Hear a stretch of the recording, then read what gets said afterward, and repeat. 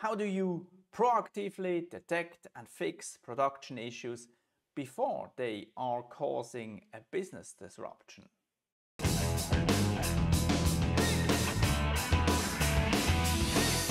Please note that everything that I'm going to say, everything that I'm going to show you is under the license of Scaled Agile. The Scaled Agile framework is a framework. Use it as a toolbox. Take out of this toolbox what fits your needs and what solves your problems. This video is part of a video series about the SAFe for DevOps Health Radar which you can see down here. If you want to know more about the SAFe for DevOps Health Radar, you can watch my video up here. The SAFe for DevOps Health Radar starts with the customer. The customer and also the business, they have bright ideas. In the step hypothesize, we take these bright ideas and extract the hypothesis statement out of these ideas and then we put them into epics. With these epics, we are going into collaborate and research. We check what the real customer need is behind that hypothesis or what the real market need is. After that, we are going to create the minimal amount of architecture which is needed to prove the hypothesis. And then in Synthesize, we are going to break down the epic into features and we are going to put them on a backlog, prioritize them so that we are ready to implement. Then we take these features and break them down into user stories which we are going to implement in the develop step.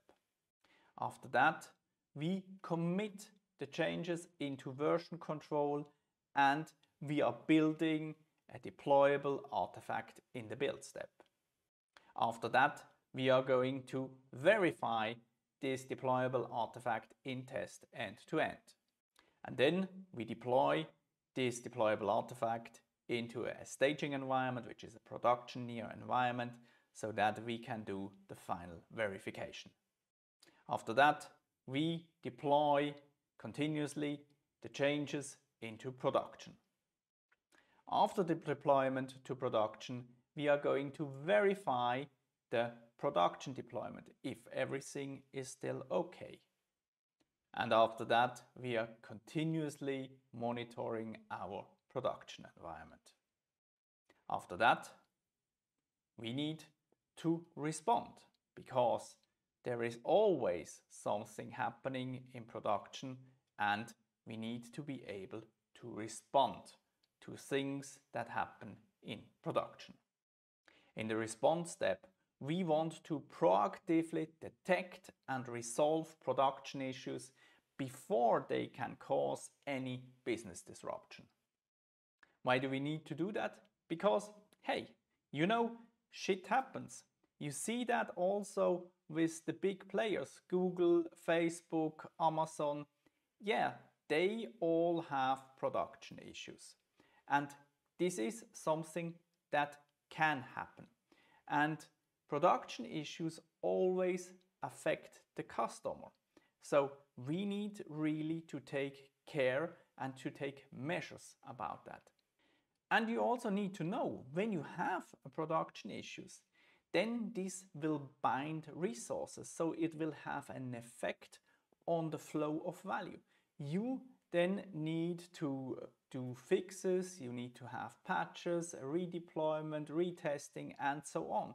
So they really affect your development and the flow of value, of future value into production. How do we do this? We do this by proactive detection.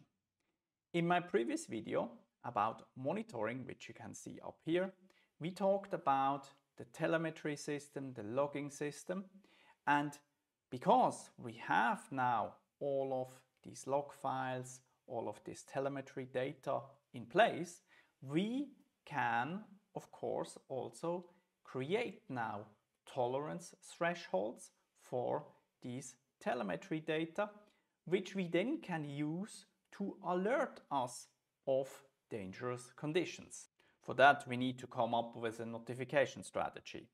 We should not alert for everything, but we need to have the right thresholds in place and create notifications for really dangerous conditions so that we don't get into an alert or a notification fatigue.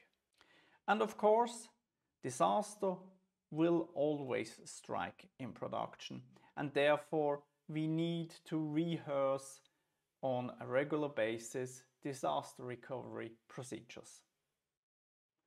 What we don't want to have is that a customer has a problem in production. He calls the service desk.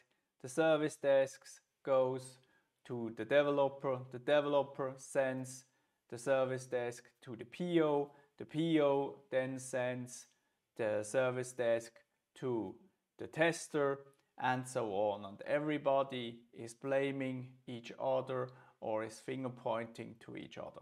This is something we don't want to have.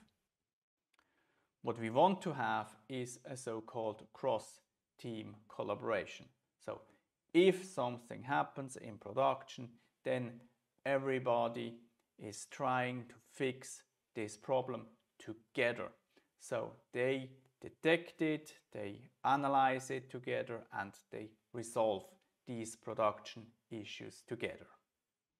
What is always a good thing is to create so-called incident post-mortem meetings where after an incident everybody who was involved in the incident is um, going into a session where they are going to see what can be improved in the future about such incidents so that such an incident never comes back or if it again happens, we have procedures in place to resolve these incidents much faster.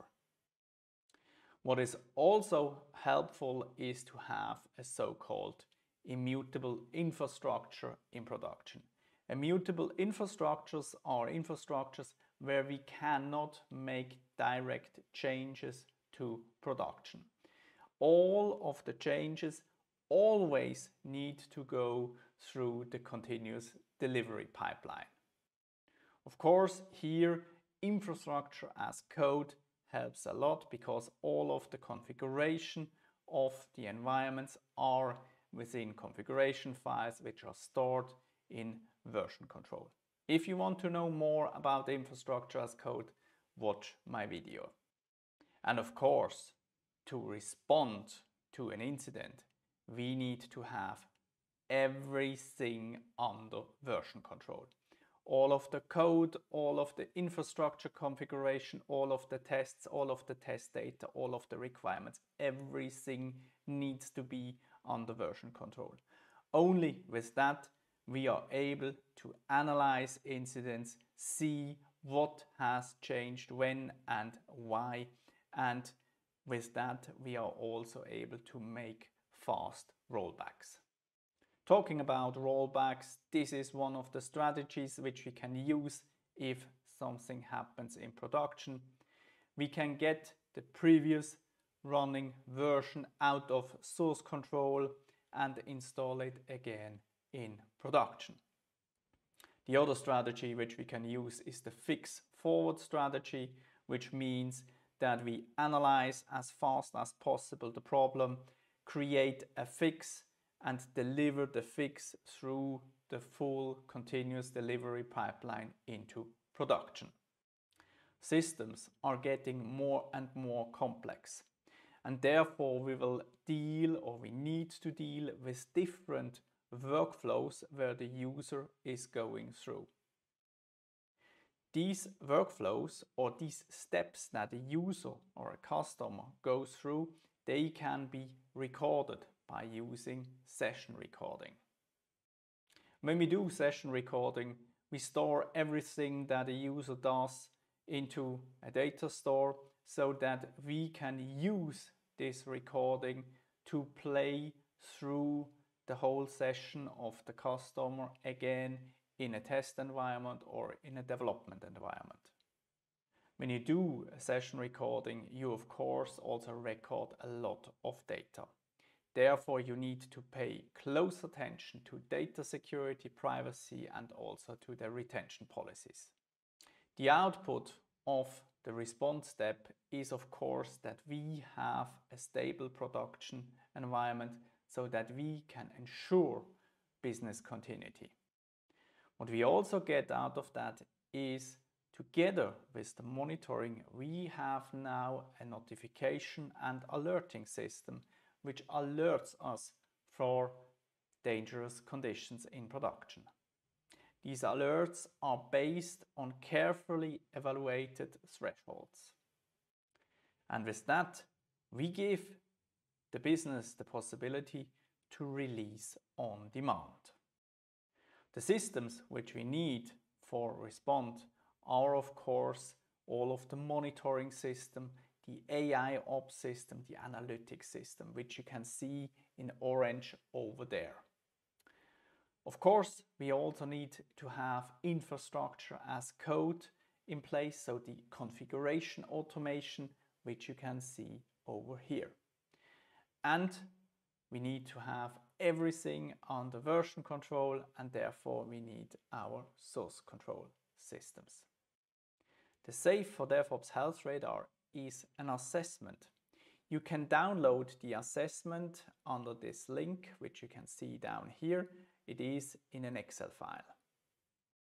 Responding to unforeseen production incidents is critical to the continuous delivery pipeline. Please rate your team's effectiveness at proactively detecting high severity production issues, identifying root causes using monitoring systems, and quickly resolving issues by building, testing, deploying fixes through the pipeline versus applying changes directly in production. You are SIT when customers find issues before we do Resolving high priority issues is time consuming and reactive. Customers have low confidence in our ability to recover from production issues. You are a crawl when operation owns production issues. Development involvement requires significant escalation. Teams blame each other in time of crisis. And you are a walk when development and operation collectively owns the incident resolution process. Recovering from major incidents is reactive but a team effort. And you are a run when our monitoring systems detect most issues before our customers do. Dev and ops work proactively to recover from major incidents and you are a fly when our monitoring systems alert us on dangerous conditions based on carefully designed tolerance thresholds. Developers are responsible for supporting their own code and proactively issue fixes through the pipeline before users are affected. Shit happens. You cannot foresee every production issues that could and can happen in production. Therefore, it is absolutely crucial that you create an environment for this cross-team collaboration and that you have a proactive detection of issues in production. And with that, we are able to release on demand, which we will cover in the next video. And with that, we are at the end of this video. Thanks very much for watching this video. Please leave me a thumbs up if you liked this video and don't forget to subscribe to this channel because I will create every week a new video for you.